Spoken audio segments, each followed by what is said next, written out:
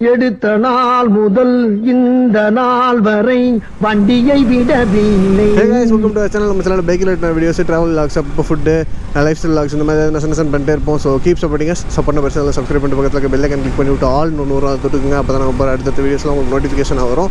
So இந்த வீடியோவில் வந்து ரெண்டு கண்டென்ட்டை பற்றி பேச போகிறோம் அதில் ஒன்றே ஒன்று நான் ரொம்ப ஷார்ட்டாக சொல்லிடுறேன். என்ன அப்படின்னு பார்த்தீங்கன்னா நான் ரொம்ப நாள் வெயிட் பண்ணிட்டு இருந்த எம்ஹா ஆர் ஒன் ஃபைவ் எஸ்ஸோட பை அந்த பைக்கோட புக்கிங்ஸ் வந்து ஓப்பன் பண்ணியிருக்கிறாங்க. நம்ம பைக் எடுத்த அலகேந்திர எம்மா ஷோரூம்லேயே ஸோ அதோட காண்டாக்ட் அவங்களோட காண்டாக்ட் லிங்க் வந்து கீழே டிஸ்கிரிப்ஷனில் வச்சுருக்கிறேன். வேணுன்றவங்க காண்டாக்ட் பண்ணிக்கோங்க. ஏன்னா புக்கிங்ஸ் வந்து ஓப்பன் பண்ணிட்டாங்களாம். எனக்கு தெரிஞ்சு வந்து டிசம்பர் இல்லைனா ஜான்வரியில் வந்து நீங்கள் டெலிவரி எடுத்துக்கிற மாதிரி இருக்கும்னு நினைக்கிறேன். ஸோ அது வந்து என்னன்றதை நீங்கள் வந்து கீழே அவங்க கால் பண்ணி கேட்டுக்கோங்க. அதே மாதிரி நிறைய பேத்துக்கு வந்து வெர்ஷன் எஸ்னா என்னன்றது தெரியாமல் இருக்கும். நிறைய பேத்துக்கு தெரிஞ்சிருக்கும். ஸோ தெரியாதவங்களுக்கு நான் சொல்லிக்கிறேன். வெர்ஷன் எஸ்ன்னா சிங்கிள் சீட்டுன்னு அர்த்தம். இதுக்கு முன்னாடி வந்து வி த்ரீ இருந்துச்சு. வி த்ரீ இருக்கிறப்ப சிங்கிள் சீட்டர் வந்து வி டூவோட லுக்கில் சிங்கிள் சீட் தான் இருக்கும். அதை பார்க்குறதுக்கு வெர்ஷன் ஒன்று மாதிரியே இருக்கும். அது நிறைய பேர் வெர்ஷன் ஒன் வெர்ஷன் ஒன்று நினச்சிட்டு இருக்காங்க. ஆனால் அது வந்து வெர்ஷன் எஸ் சிங்கிள் சீட்டுன்னு அர்த்தம். இப்போ வெர்ஷன் ஃபோர் வந்ததுனால வெர்ஷன் த்ரீயோட லுக்கில் அப்படியே வந்து சிங்கிள் சீட் கொடுக்க போகிறாங்க ஆக்சுவலாக இது யாருக்கு வந்து யூஸ் ஆகும் அப்படின்னு பார்த்தீங்கன்னா எனக்கு வந்து ஒரு ரேஸ் பைக் ஃபீலாக ஆகணும். அதாவது ஃபுல் ஃபேட் பைக்காகவும் வேணும். அதே நேரத்தில் நான் வந்து பின்னாடி வந்து எங்கள் வீட்டில் எங்கள் அம்மாவோ யாரோ ஒருத்தவங்களோ நான் கூப்பிட்டு போகிறதுக்கு எனக்கு சீட் கம்ஃபர்ட்டும் இருக்கணும் அப்படின்னு ஆசைப்பட்றவங்களுக்கு இந்த பைக் வந்து யூஸ் ஆகும். ஸோ அந்த மாதிரி யாராவது இருந்தீங்கன்னா அதே மாதிரி வி த்ரீயோட லுக்லேயே இருக்குது இந்த தடவை. ஸோ வி த்ரீ நிறைய பேத்துக்கு பிடிச்சிருக்கும். அந்த மாதிரி வாங்கணும் அப்படின்னு ஆசைப்பட்டீங்கன்னா கீழே டிஸ்கிரிப்ஷன் லிங்க் இருக்குது மாதிரி சொல்லிடுறேன். ஸோ அவங்களுக்கு கான்டாக்ட் பண்ணி கேட்டுக்கோங்க ஸோ த நெக்ஸ்ட் விஷயம் என்ன அப்படின்னு பார்த்தீங்கன்னா இதுதான் வந்து மேஜரான கண்டென்ட் இந்த வீடியோவுக்கு.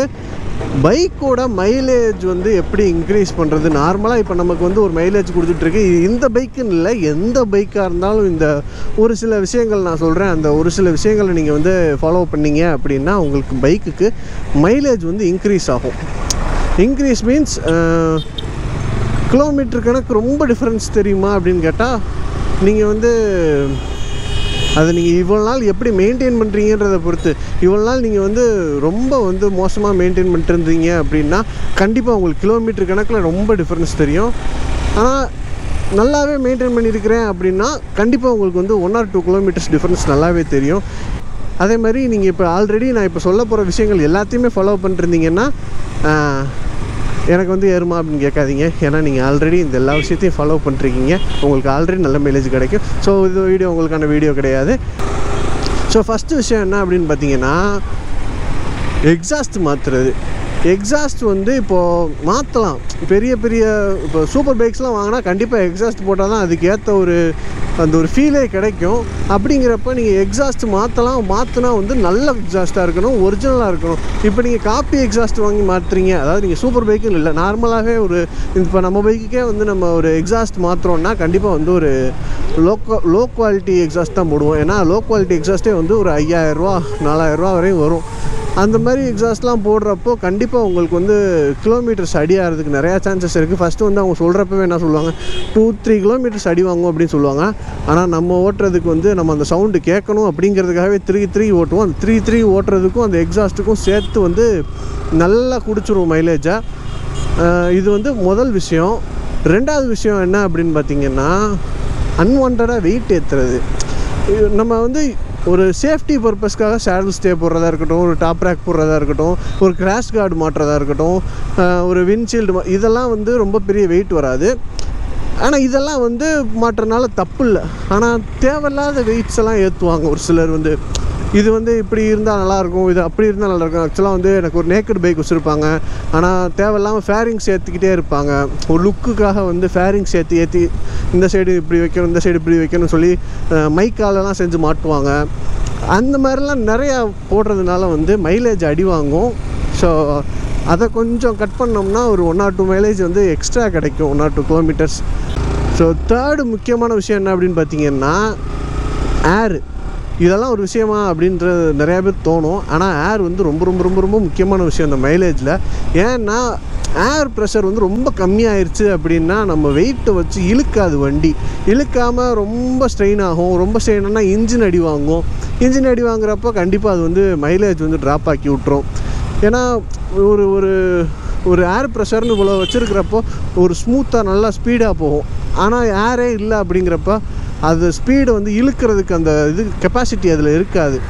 ஸோ ஆப்வியஸாக வந்து ஸ்லோவாக போகும். நம்ம எவ்வளோ திருகினாலும் ஸ்லோவாக போகும். அப்போ நம்ம திருக திருக திருக மைலேஜ் தான் தேவையில்லாமல் அடி வாங்கிக்கிட்டே இருக்கும். நம்ம ஒரு ஹண்ட்ரட் கிலோமீட்டர் போக வேண்டிய இடத்துல வந்து எயிட்டி கிலோமீட்டர் தான் போயிருக்கும். அப்போ இந்த டுவெண்ட்டி கிலோமீட்டர் நமக்கு அடி வாங்கியிருக்கும். ஸோ இதுதான் வந்து ஏர் வந்து ரொம்ப ரொம்ப ரொம்ப ரொம்ப முக்கியமான விஷயம். ஏர் வந்து ப்ரெஷர் கரெக்டாக மெயின்டைன் பண்ணிங்கன்னா உங்களுக்கு மைலேஜ் நல்லா கொடுக்கும். ஸோ இதுதான் வந்து தேர்ட் விஷயம். நெக்ஸ்ட்டு விஷயம் என்ன அப்படின்னு பார்த்தீங்கன்னா கான்ஸ்டன்ட் ஸ்பீட் இது வந்து ரொம்ப ரொம்ப ரொம்ப முக்கியமான விஷயம். எல்லாரும் ஃபாலோ பண்ண வேண்டிய விஷயம். ஏன்னா இப்போ நம்ம வந்து ஒரு ஃபார்ட்டி ஃபோரில் போய்கிட்டு இருக்கோம். நான் வந்து மேக்ஸிமம் ஃபார்ட்டி டு ஃபிஃப்டியில் போய்கிட்டு இருப்பேன்.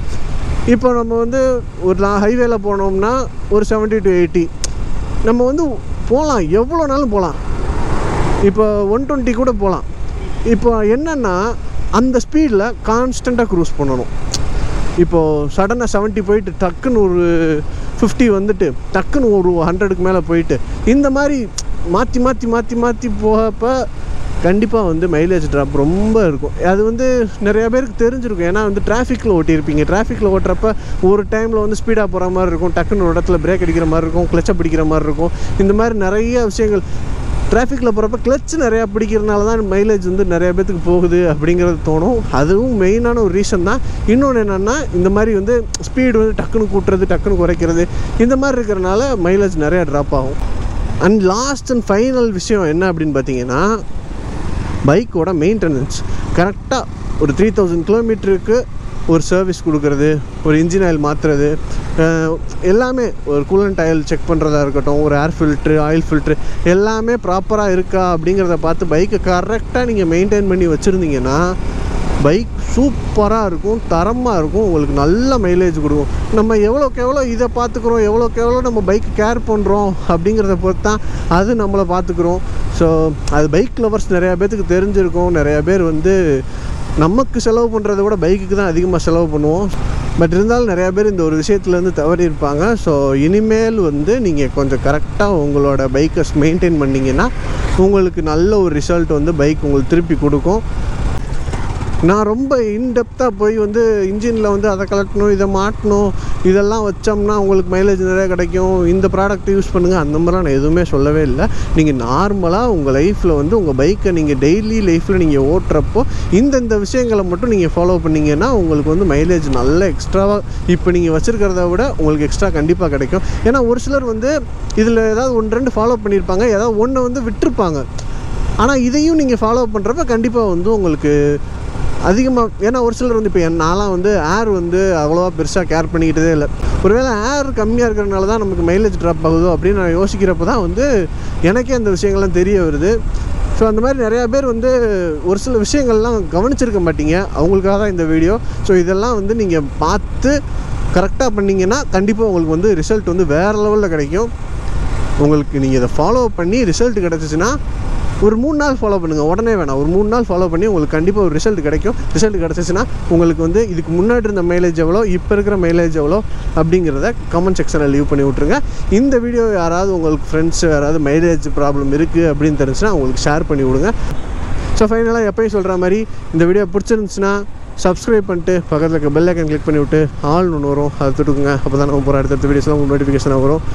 ட்ராவல் பண்ணுறேன்னு சொல்கிற பண்ணவே மாட்டேன் டெய்லி இந்த மாதிரி வீடியோவாக போட்டுட்ருக்கேன் நிறைய பேர் கேட்பீங்க கூடி சீக்கிரத்தில் பண்ணுறேன் ஏன்னா ரெட் அலர்ட் தமிழ்நாடு ஃபுல்லாக கொடுத்துருக்குறாங்களாம். நாளைக்கு நாளைக்கு ஃபுல்லாக ஸோ நாளைக்கு தான் போகலான் இருந்தேன். ஏன்னா நேற்று வீடியோவில் சொல்லியிருப்பேன் ரெண்டு நாளில் போகிறோம் அப்படின்னு. நாளைக்கு போகலான்னு நினச்சிட்டு இருந்தேன் பட் மிஸ் uh, ஆயிடுச்சு ஸோ இந்த மழை இதெல்லாம் கொஞ்சம் நார்மல் ஆயிடுச்சுன்னா நம்ம டக்குன்னு கிளம்பிட வேண்டியதான் எந்த டிலேவும் இல்லாமல் தள்ளி போடாமல் டக்குன்னு கிளம்பி போயிடலாம். So wait for the next video and bye